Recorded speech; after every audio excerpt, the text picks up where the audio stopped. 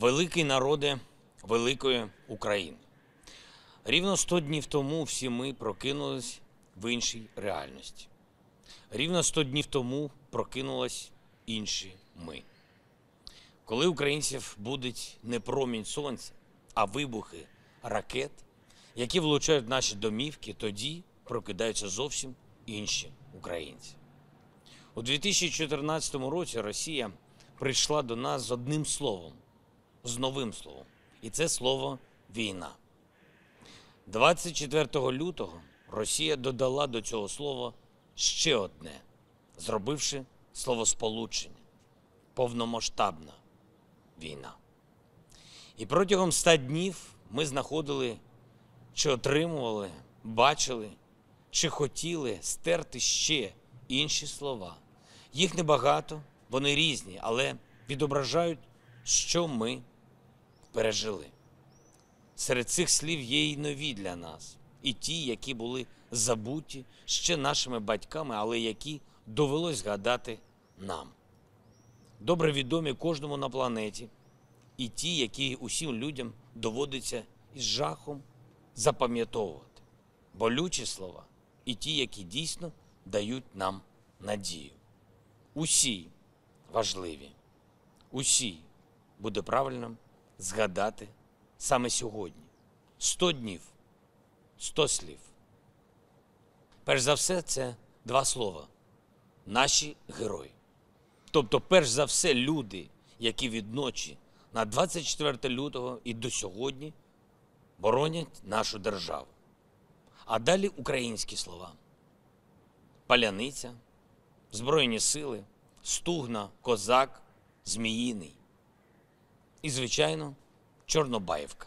Це одне слово, яке звучало вже багато-багато разів, і в якому видно усе і про наш спротив, і про наших ворогів.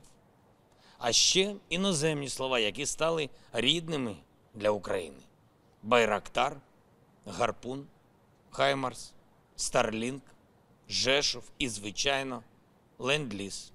Ще одне слово. Всього лише одне, але яке відображає 100 днів боротьби, 100 днів дипломатії, 100 днів підтримки.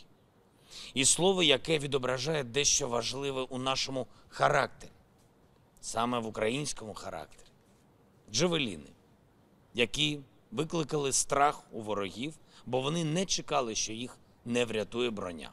А потім і посмішку. Нашу посмішку, коли українці намалювали ще й святу Джавелін. Ну і слово, за яке всі, всі в Україні підіймають келих. Нептун. Щодня у нас з'являлись слова, які для кожного і кожної тепер значно більше, ніж просто слова. Важкі слова. Гостомель, Бородянка, Охтирка, Чернігів, Харків, Херсон, Ізюм, Мелітополь, Маріуполь і Азовсталь.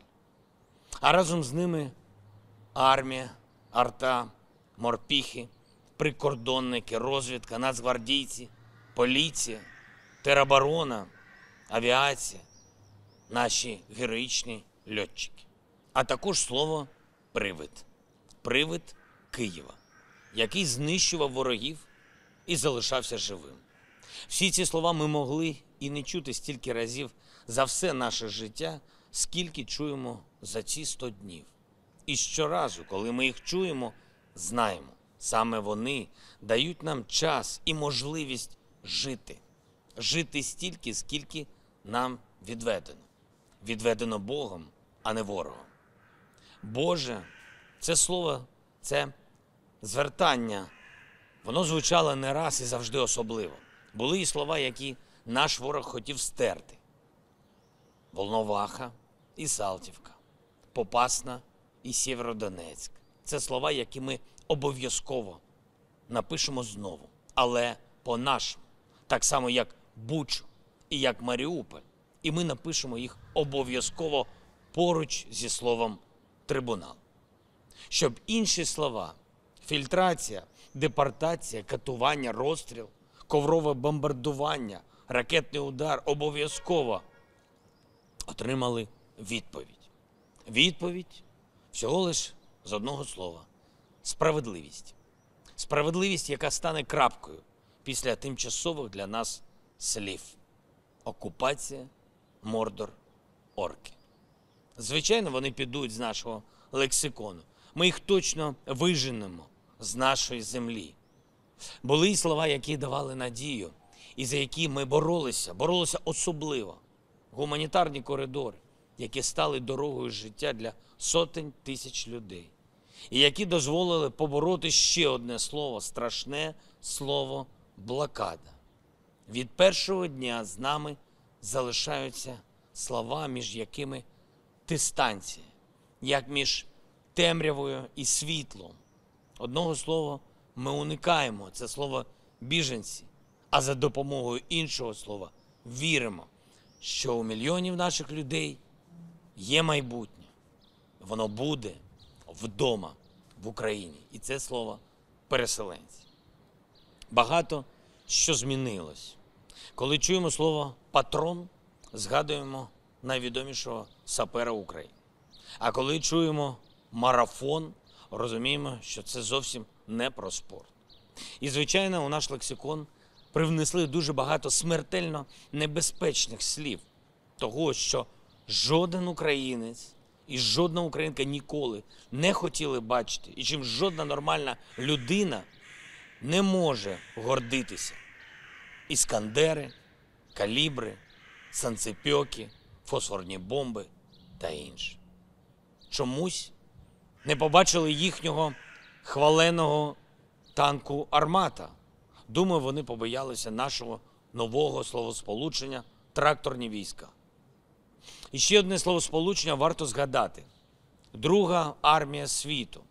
Спочатку воно виглядало загрозливо, потім небезпечно. Після Бучі викликало тільки відразу, а зараз хіба що гірку усмішку. Бо що залишилось від неї, від армії, яку називали Другою армією світу? Воєнні злочини, ганьба і ненависть, і цифри. Цифри замість слів. Коли бачиш щоранку число загиблих, число поранених, кількість обстрілів, кількість ракет, коли поруч зі словом діти щоранку нова цифра. Сьогодні 261. Вже 261 дитину убило російське вторгнення. Заради чого? Немає таких слів, які можуть дати відповідь на це запитання.